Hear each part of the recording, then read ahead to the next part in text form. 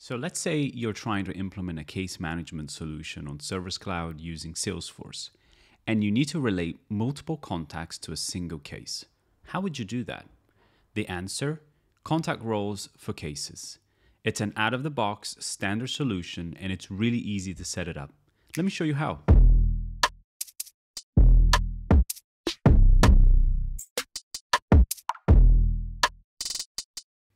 Okay, so here we are in Salesforce. The first thing we're going to do is set up contact roles for cases, and then we're going to have a look at a case record.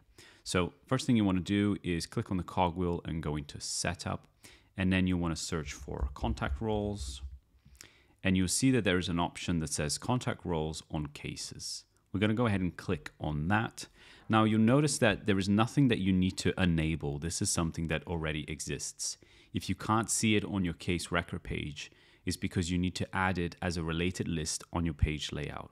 But the first thing you want to do is have a look at the actual contact roles pick list values, because this will dictate what role that contact plays on that specific case.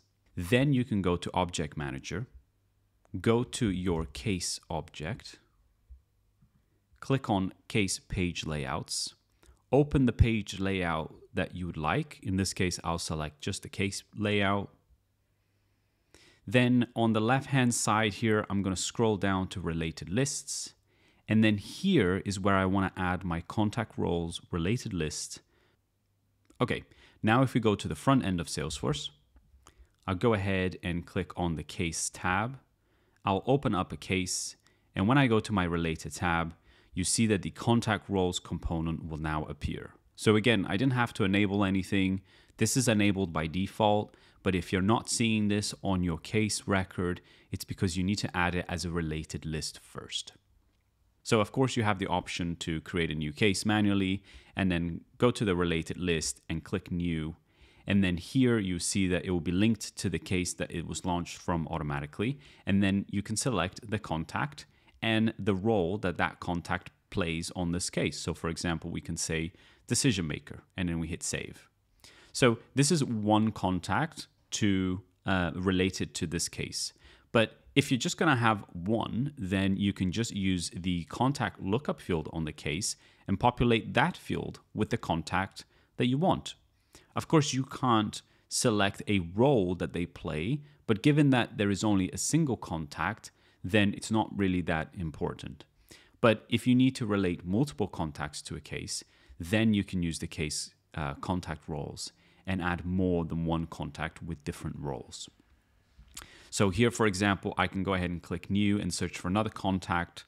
Um, let's say Rose, and let's say that Rose is the technical contact. And then I hit save, and now I have more than one contact related to a single case. To tidy up our case creation, what we would want to do is have an automation that when a case is created, it takes the value from the contact field and auto creates a contact role with that contact. So let's do that. We're going to go back to setup and we're going to search for flow. We're going to click on flows and then we're going to click on new. We want to make a new record trigger flow and we want to make it so that it is on the case object and it's triggered when a record is created and it's only triggered when the contact ID is null equals false. In other words, we only want to trigger this flow when the case is created and the contact ID does have a value. Because if it doesn't have a value, there's no point in triggering this flow because we won't know who to link the contact role uh, to. Now, another way that you could do this is if the implementation is going to be relatively large with various different automations, then you might want to have a single record trigger flow that will trigger for various different things on case creation. Okay, so now that I've entered my criteria, the next thing that I want to do is just to add a create element. So create records, and here I want to create a new contact role um, record. And so I'm going to select my contact role, case contact role object. And then if you click on fields, you see that it only has three fields to populate and we actually want to populate all of them. So I'm going to go ahead and select all of the fields because we want to populate all three of them. For case ID, we want to select the record ID. In other words, this is the case that triggered the flow. For contact ID, again, I want to look at my record and then search for the contact ID.